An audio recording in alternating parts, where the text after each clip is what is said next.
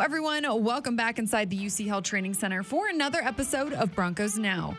Team reporter and host Sydney Jones here. And coming up on today's episode, we'll hear from head coach Nathaniel Hackett as he reflects on Sunday's loss. Plus, I'll have an injury update, and Broncos lead writer Aric DiLalla joins the show for a game recap. All that and more coming up.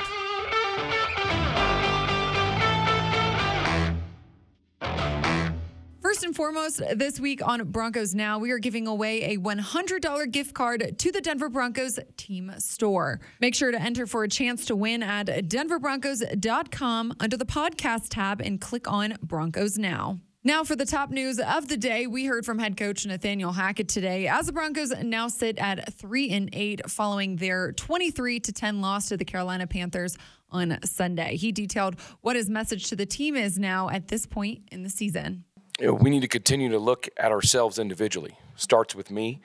Uh, go to the coaches, the players, to see how we can improve. It's not just one guy. It's it's a, everybody. Everybody's got to get better. Everybody's got to play better. Um, we're obviously not happy with what the outcome was yesterday. We can play better, and we're a better football team than that. And uh, we got to uh, continually get better across the board. Coach Hackett also went on to talk about Russell Wilson's recent struggles and what might be causing them it's a combination of a lot of different things.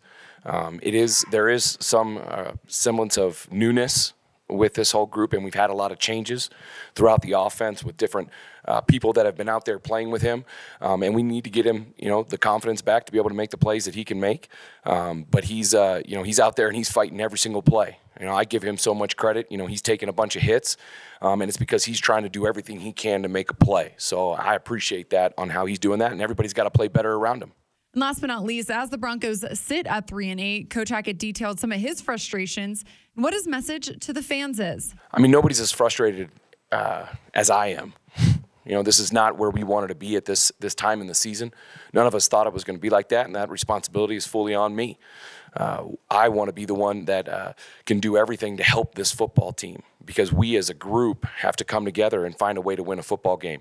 And uh, we can't uh, play the way that we played last week, uh, the, yesterday, and expect to win a football game. So it starts with me from the preparation, practice preparation, every single thing that we do.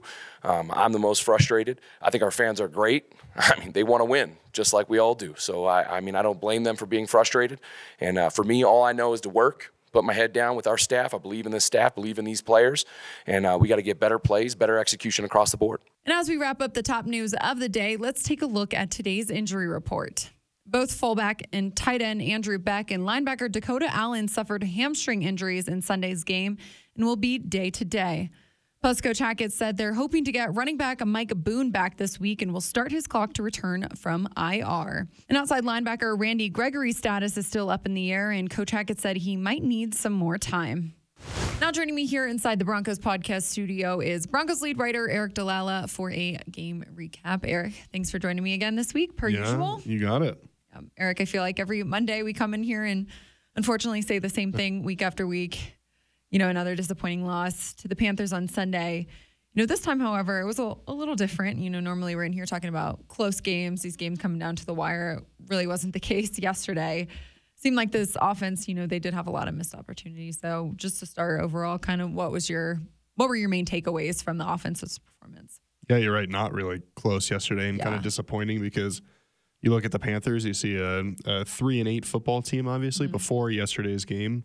Sam Darnold making his first start, um, a defense that has some playmakers, but still gave up a decent number of points. And right. to get, I don't want to say blown out because the Broncos did cut it mm-hmm. um, to 23 10 late in the game, but it did not feel particularly competitive at times, especially in the second half. And Russell Wilson kind of mentioned that at the end of the game or after the game. He said, mm-hmm. the whole game has to matter. We have to be dialed in and, and caring about the outcome of this game the whole game you know, yeah. no matter what the score is. Um, and so that stood out to me as kind of a, you know, maybe that suggests to me that maybe guys were not kind of toward the end of the game were not as engaged as they could have been. Mm-hmm. Um, but when it comes to the offense and the missed opportunities, you're right. There were several chances. I think the biggest one, of course, was there was a muffed punt there in the first half. The Broncos have a chance, um, I believe, at that point to tie the game up, mm-hmm. and they settle for three. Um, there's another opportunity where the Broncos have it down uh, in that side of the field right after Latavius Murray's 52 yard rush. Right. Um, one of the bigger plays of the season for the Broncos, and definitely their biggest running play of the year. And instead, Russell Wilson hit from behind as he's throwing. Um, the ball gets dislodged by Brian Burns, who, Sydney, we talked, he could not have an impact like Maxx Crosby had for the Broncos to win. Yeah. He was maybe better than Maxx Crosby was a week before. So Right. um, those were just a couple of missed opportunities. But again and again, the Broncos just they struggled offensively. They came out of the um, you know out of the out of halftime, scripted their first few plays, still couldn't find any success.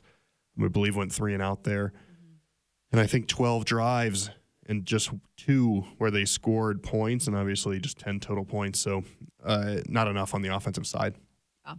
We saw the offense again continue to struggle on to convert on third down. Aric, you know, converted just four of 14. You know, we we heard Russell Wilson say after the game yesterday that this team is just really inconsistent. You know, they need to get losing out of their system.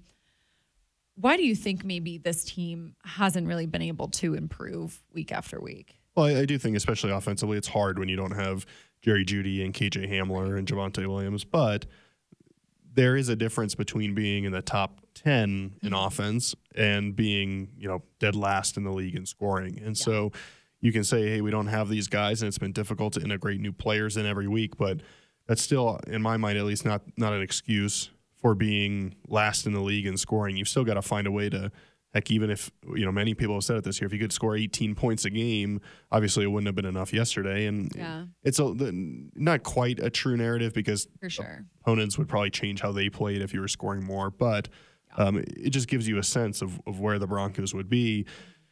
And so, you know, whether it is injuries, whether it's um, still trying to get comfortable in this system, uh, whether it's turnovers at inopportune moments for the Broncos. I mean, it's been a little bit different game to game, uh, but but yesterday it it was third down again, um, and it was really every quarter of the game. I mean, Russell Wilson was asked at the end of the game or after the game how you know how disappointing was that third quarter, and he said, "Look, it's not just about the third quarter. It's got to we got to be better in the first quarter. We got to be better in the second quarter. We got to be better the whole game." Right. Yeah. And so, um, you know, if it were just one thing, Sydney, I think it'd be easier to kind of put your finger on it and to fix it. But clearly, there's kind of a bunch of different factors.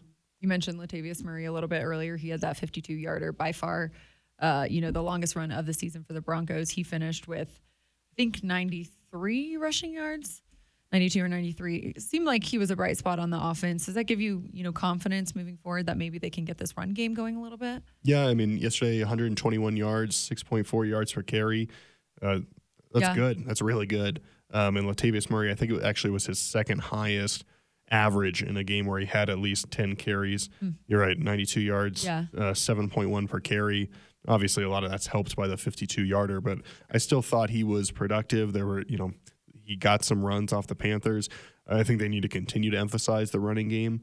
I think you need to be careful of how much you run the football with Latavius Murray just because he is an older back. I think they need to try to keep him fresh. But Right. yeah, in the game that, I mean, it was it was a seven point game at halftime, and even in the third quarter, um, you know, just a, a 14 point game. Right. I think maybe the Broncos got away from the running game a little bit, um, and maybe just could commit to that a little bit more. It's going to be key for the Broncos to find a win at some point here. Well, Aric, looking at this defense's performance, not their best day either, unfortunately. We saw the run defense really struggle again. Panthers running back, uh, D'Onta Foreman, he rushed for 113 yards, was pretty physical out there. What do you think really needs to be the focus of that group this week and moving forward? Yeah, I mean, I think it's just a, a commitment to continuing to stop the run. It's not going to get any easier against the Ravens. Um, people are going to challenge you to stop the run until you show that you can do it. Broncos did that a little bit, and and listen, I get that it's tough to you know stopping the run. You're you're putting your body on the line. I get that that's tough to do when it seems like you know you don't have much of a chance to win a game Yeah. when you are three and seven and becoming three and eight. I, I get that that's difficult, but these guys are are paid for a reason. They're out there for a reason. That's to play good mm-hmm. defense, and, and it's got to start with stopping the run. You know, if you're a pass rusher like Dre'Mont Jones, Yeah. like Jacob Martin, like Nik Bonitto, and and you are wanting to get sacks and kind of add to your you know the flashy things that people pay attention to. Right.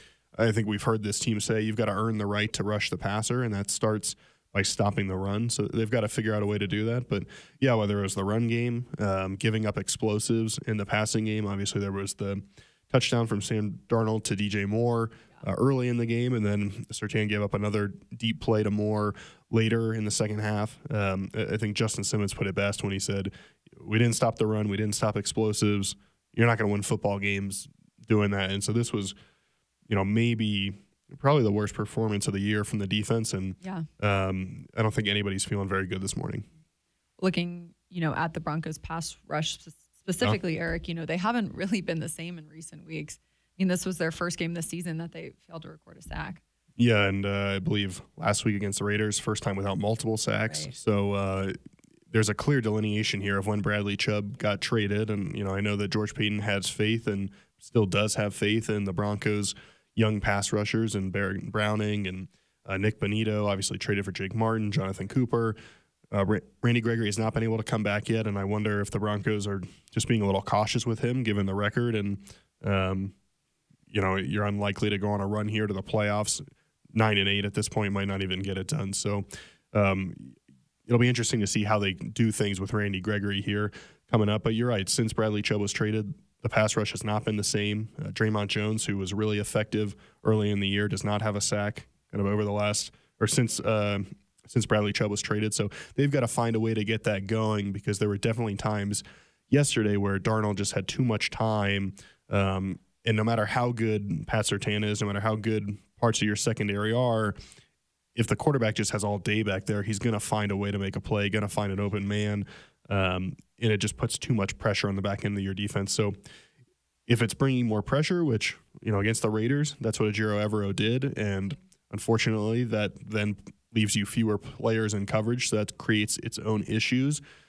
But right now, they've got to find some sort of solution because, you know, it, you know, we'll see about Randy Gregory, but right now they've got the guys that they've got, and they've got to find a way to make it work with those guys. Sure. Yep. Well, they will head back to the drawing board this week. Another road game this weekend in Baltimore forward to that. Aric, appreciate your time always. Yeah, of course.